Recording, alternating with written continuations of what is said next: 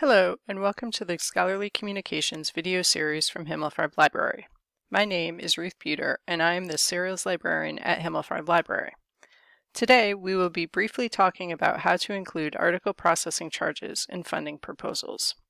Our videos are publicly available and licensed under a CC BY NC SA Creative Commons license although some resources discussed in this series are only available to faculty, staff, and students with access to Himmelfarb Library resources.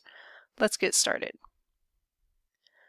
During this short video, I will explain what article processing charges, also known as APCs, are, discuss two common grant policies that allow grant funds to be used for APCs, explain how to estimate the cost of APCs, and offer some sample language that you can use in your grant and funding requests. So what are APCs? APCs, or article processing charges, are publication fees that open access journals charge an author to publish an article in an open access journal. Including APCs in your grant funding proposals from the beginning will help ensure that you won't have to find funding to cover these costs when you are trying to get published. National Institutes of Health and National Science Foundation grants both allow for grant funding to be used to pay for APCs. Refer to the policy sections listed here for more information. Before including APCs in your funding proposal, it's good to have an idea of how much money you expect to spend on these fees and to include these figures in your proposal. A good place to start is to choose your top three journals to which you'd consider submitting your article for publication. Look at the For Authors or Open Access pages of the journal website. Find the APC fees. Include the price range of APCs for these journals in your project budget. Repeat this project for each article you expect to result from this grant. For example, if you expect to publish three articles resulting from this single grant, repeat this process for each article and include the total range of APC cost in proposal.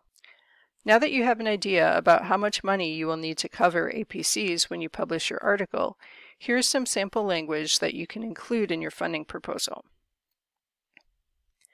In accordance with the GW Faculty Open Access Resolution, peer-reviewed journal publications resulting from this grant will be made openly accessible after publication. I will comply with this policy either by self-archiving in the Health Sciences Research Commons institutional repository and or by paying an article processing charge, APC, to make the article freely available. I anticipate publishing X number peer-reviewed journal articles based on the research conducted under this grant.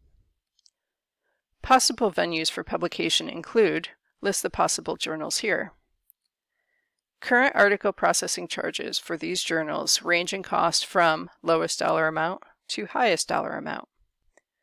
Accordingly, I am requesting total cost for all articles in funding to cover anticipated APC costs for peer-reviewed journal articles resulting from this grant. Let's end with a quick summary of key takeaway points. First, include APCs in your funding proposals. Planning ahead will help ensure that you have the funding required to cover these costs when you are ready to publish. NIH and NSF grants both allow for grant funds to cover APCs. Do your homework and calculate the estimated cost of APCs so you can include concrete totals in your grant applications. And finally, use the sample language provided in this video as a guide for including APCs in your grant funding proposals. To learn more about the topics covered in this video, please explore these additional resources. Thank you for taking the time to listen to including APCs in funding proposals. If you enjoyed this video, please visit our video library where you can find the associated slides. If you have any questions about the materials covered in this session or have specific questions to your own research, don't hesitate to contact me at rbueter at gwu.edu. On behalf of the Himmelfarb Library Scholarly Communications team, thank you for listening.